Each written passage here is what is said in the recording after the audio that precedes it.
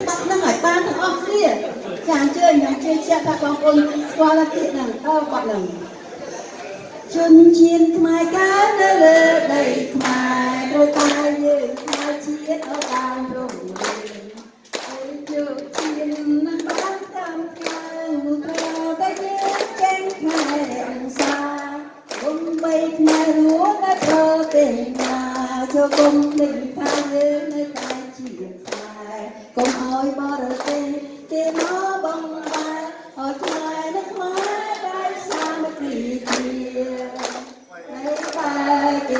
ចំណាយប្រាំកាន់ចាយហូរយាយ៉ាងណាចូលគុំភ្លេចជាជាខែរា